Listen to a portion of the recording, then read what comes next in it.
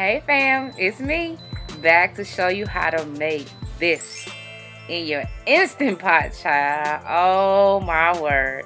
Today is the day. Pull it out. Let's get started.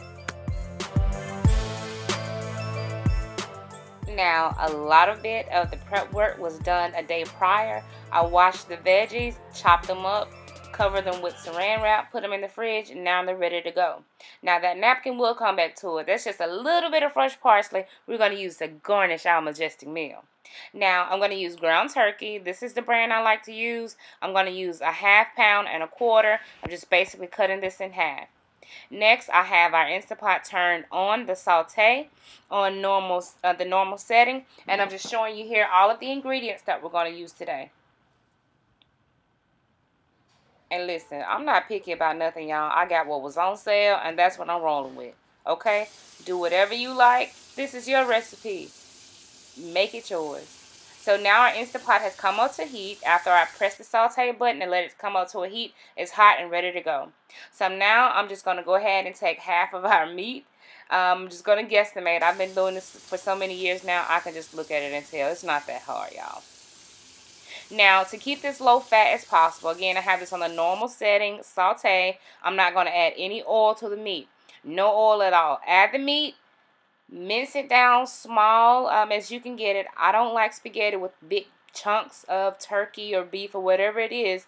So even when I do uh, tacos, I like to mince my meat very fine. And that's what you'll see me doing here. Now, a quick tip. Wait to add your seasonings until everything has heated up through and then add it because they'll actually bloom and the flavor will blossom even more. Instead of adding your spices to a cold pot, add it to the warm pot. It's just, it's just going to make for a better finished product. I don't know if you've heard, but a party ain't a party unless you got some Lawry seasoned salt. I got some Lawry seasoned salt, curry, a little bit of dill, black pepper, pink Himalayan salt, and paprika. I'm just going to go ahead and add it to our hot pot with our meat and let it balloon, y'all. I also added a few uh, red pepper, crushed red pepper flakes, just for a little bit of kick. And again, I'm doing the same thing. Each, step, I'm just mincing the meat down even smaller and letting it cook. Oh my goodness, y'all. I it smells so good. I wish you could smell it. If you're making it with me, you smell it. Smells good, right? Oh my goodness, there's nothing like spaghetti. It's my comfort food. I've always loved spaghetti. Okay, so our meat is done. Woohoo! All right, y'all. We're going to remove this from the pot and go ahead and add our veggies in. I'm just showing you, look, nothing is sticking. So don't think that you need all that oil to cook. Trust me when I say this is a very lean cut of meat. However, it's good to go. All right, I just wanted to show you that. No stickage, nothing. It's good. So we're going to remove this meat from the pot. It's fully cooked. And we're going to go ahead and add in our veggies. Uh, and prior to that, a little bit of olive oil. Use whatever oil you like.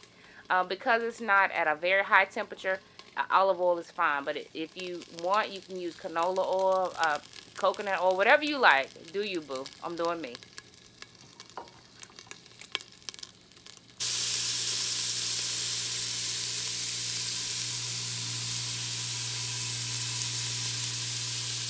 That just sounds so good, right? There's nothing like onions and bell peppers, I'm telling you, sizzling on a skillet.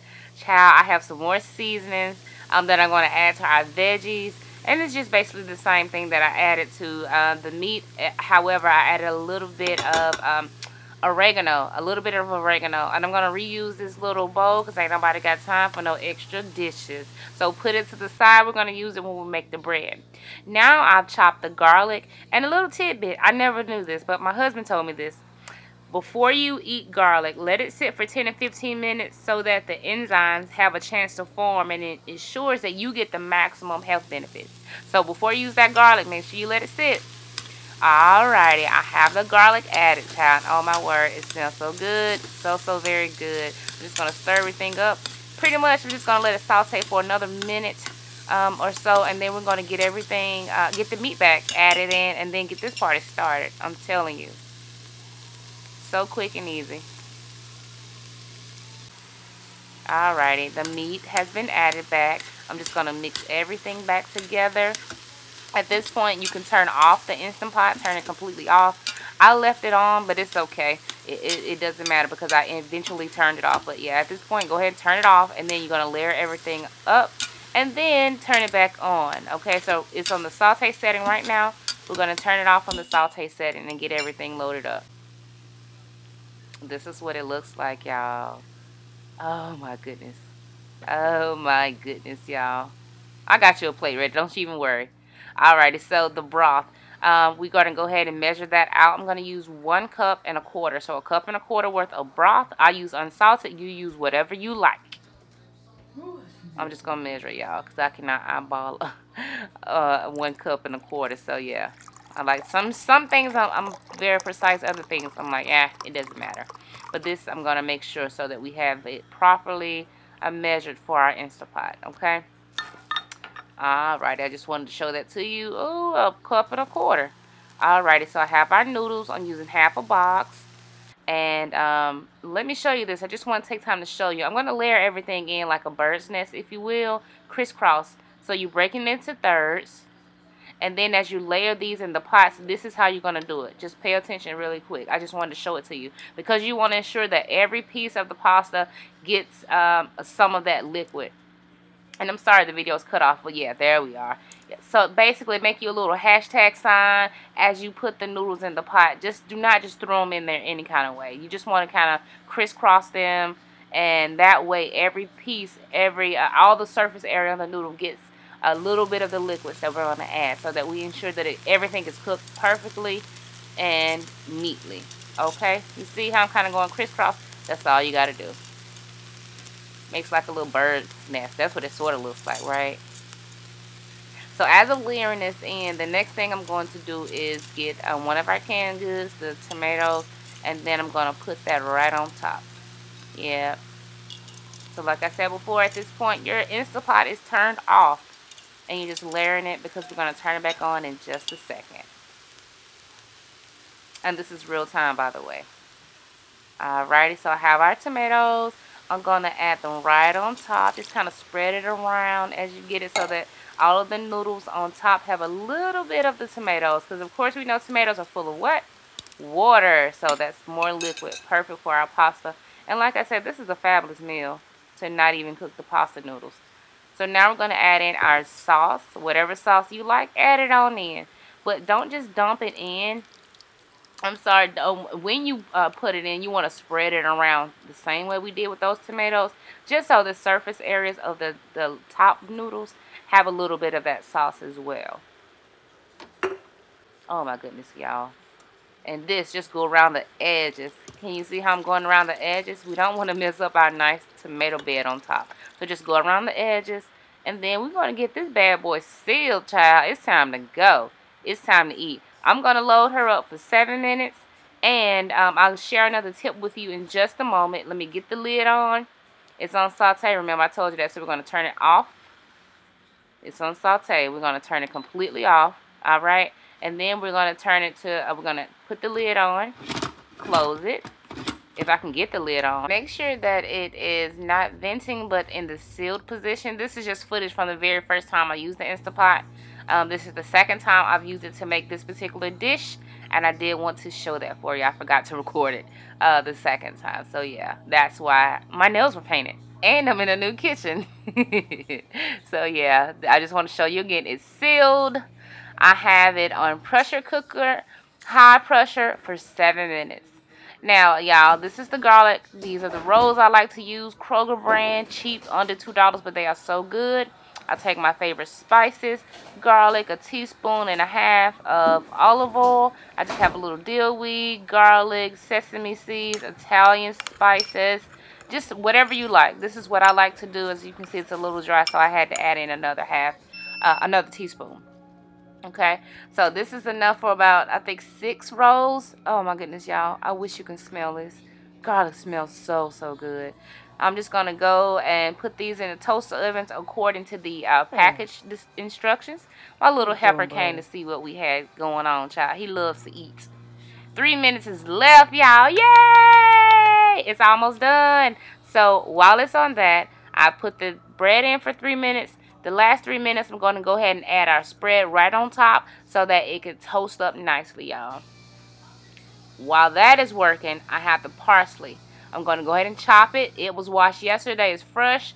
Just go ahead and go ahead and chop it. And guess what? Now it's ready. Look, I just wanted to show y'all this. This is from the first time I made my Instapot meal. This is going to hilarious. Look. And I read the instructions. Don't laugh.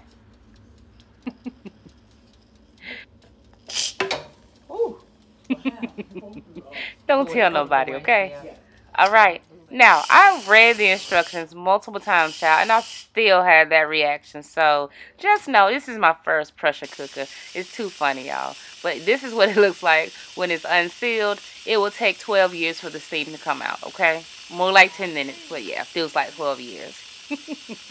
Again, this is footage from the first time I made this meal. Um, so, like, a lot of the tips that I'm sharing with you is because I made it a second time and tweaked it and got it perfect, okay? Alrighty, this is what it looks like the second time I made it. Y'all, I'm doing my happy dance. It's time to eat.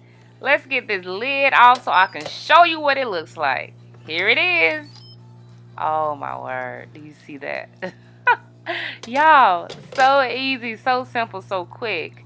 A full course meal in under an hour. You can't beat it with a stick. I'm telling you, look at this. And just so that you know, when you make pasta in the Instapot, there's always going to be like, you see how it's kind of liquidy? What only thing you need to do is put that lid back on, let it sit for about another five to seven minutes. It's gonna absorb. The noodles are gonna absorb all of that liquid, and guess what? You'll be ready to eat. So I normally do this. Like normally, what I would do is at this point, I'll go ahead and get the bread ready so that I can eat everything at the same time. But hey, I can wait. What you think? Tell the truth.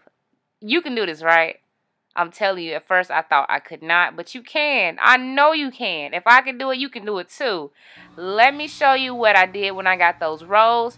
And actually that uh, tablespoon plus the teaspoon, it made eight rolls. You know, it was enough of my bread sauce for eight rolls. You can't beat it with a stick. I'm telling you, so good, so divine, so quick.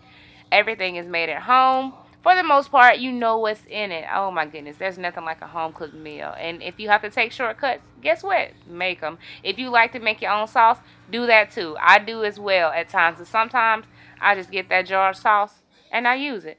Voila, look at that. Bon appetito. Did I say it right? Don't matter if I did. Oh my goodness, y'all, look at this perfection. I hope you will give it a try. Like this video, thumbs up, subscribe, and please share my channel with a friend.